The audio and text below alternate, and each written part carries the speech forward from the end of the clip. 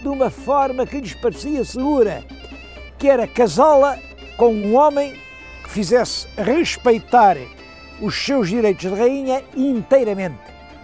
Esse homem era o rei Dom João I de Castela. Era viúvo, já tinha uma certa idade.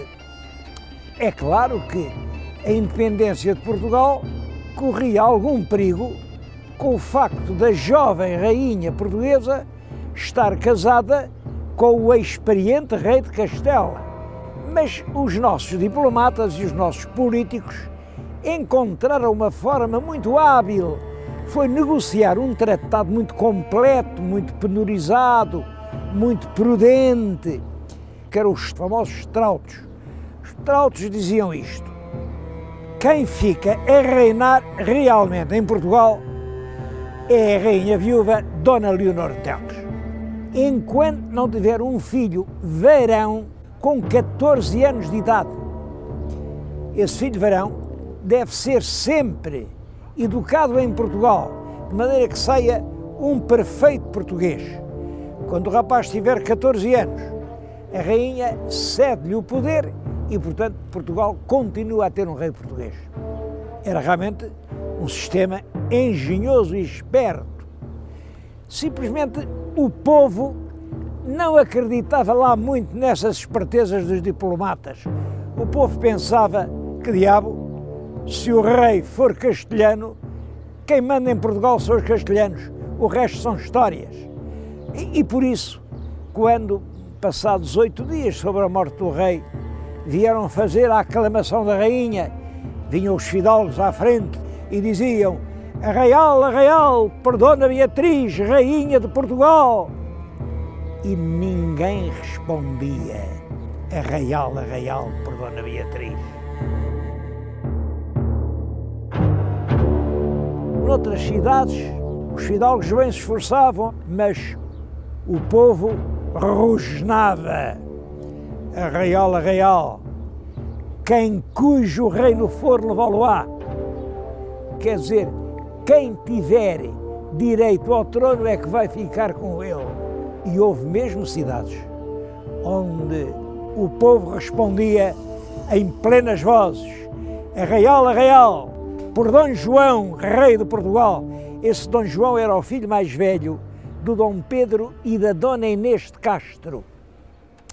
Eh, ele estava homiciado em Castela, porque aqui tinha morto uma mulher com quem estava casado, isso aqui é verdade, tinha morto em Coimbra a Maria Teles e tinha fugido para Castela. Mas esse era o rei que o povo queria. Era o jovem e vigoroso príncipe Dom João, filho de Dona Inês de Castro e do bom rei Dom Pedro. Claro que lá em Castela, logo que souberam que aqui o aclamavam, meteram-no na cadeia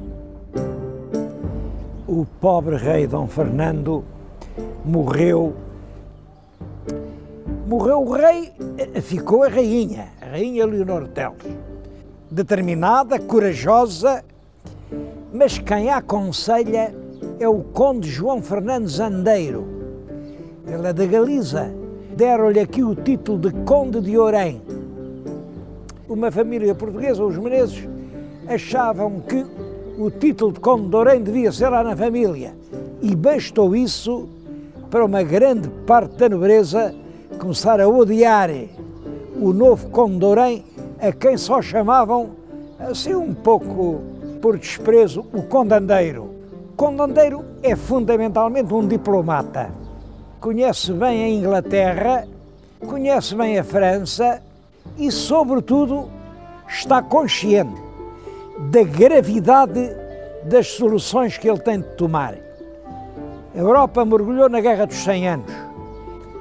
Portugal tinha o seu comércio marítimo muito dependente da navegação no Mar do Norte. E quem manda no Mar do Norte são os navios da esquadra inglesa. Se, portanto, nós não tivermos o apoio inglês, não vamos exportar nem mais uma pipa de vinho, nem mais uma barrica de azeite, nem mais um fardo de pão. O andeiro, primeiro, inclina-se para a aliança inglesa. E é daí que vem a nossa velha aliança com a Inglaterra. Mas a verdade é que isso provoca invasões espanholas e os ingleses não nos vêm ajudar. Por isso ele volta-se agora para Castela, tenta negociar acordos e alianças, mas naturalmente agora os burgueses não concordam. Estar do lado da França é estar contra a Inglaterra e estar contra a Inglaterra é estar contra o bom negócio. Era, portanto, preciso mudar de projeto político. Mas para mudar de projeto político, tinham de sacrificar o Conde João Fernandes de Andeiro. Devo dizer que a crónica de Fernão Lopes conta as coisas de uma forma diferente. O que diz é que a Rainha Leonor Teles era amante do Conde João Fernandes Andeiro e que, portanto, os burgueses de Lisboa, muito indignados com aquele adultério, coisa horrorosa, então uma rainha viúva há tão pouco tempo, metida lá com o Andeiro, e que resolveram matar o Andeiro. De facto, há sempre uma pequena intriga por detrás de um grande interesse. E não há dúvida que aqui o que está em jogo é a política fundamental do país perante a Guerra dos 100 Anos.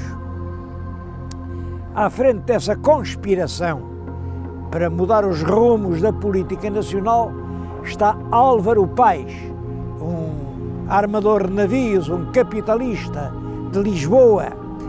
Mas estão também os dois grandes chefes da nobreza portuguesa. Está o Conde Barcelos, que é realmente o chefe do poderoso clã dos Menezes, a que pertence a rainha, e está o Conde de Raiolos, chefe do forte clã dos Castros. Eram as duas mais importantes famílias portuguesas. Pode-se dizer que nobreza e burguesia chegaram a acordo no sentido de uma mudança política. É claro que havia uma dificuldade. Como é que eles iam matar o condandeiro? O condandeiro vivia no Passo. O Passo é fundamentalmente ainda este centro de estudos judiciários, embora já muito desfigurado. Chamava-se naquela altura o Passo de Apar de São Martinho. Ora, como é que se vai entrar num palácio que tem a sua guarda? Eles engenharam um plano muito hábil momentos antes do mestre Davis, que era a pessoa escolhida para matar o conde, entrar no palácio, punham escudeiros a correr aqui, estas ruas de Alfama a correr e a clamar acudam ao passo que mata o mestre, que é filho del rei Dom Pedro, e toda a gente corre ao passo. O passo limoeiro é rodeado de uma enorme multidão, obrigou os sinos de todas as igrejas a tocarem a rabate.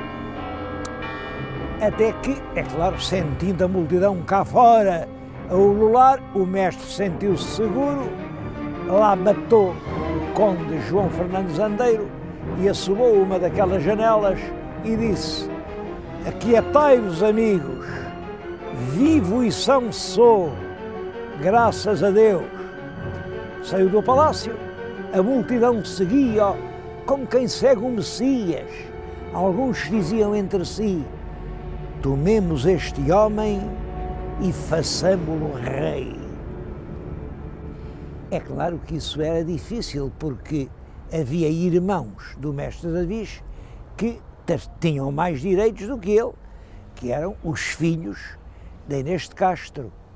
Eh, mas esses filhos eh, estavam em Castela, tinham sido presos o rei de Castela, logo que soube, morreu Dom Fernando, prendeu os infantes portugueses que podiam ser eh, sérios pretendentes ao trono, portanto eles estavam presos, estavam presos e aqui o povo, o mais que pôde, foi eleger o mestre defensor e regedor do reino. Bom, estas palavras, defensor, carregado da defesa contra Castela, e regedor, encarregado de o reger.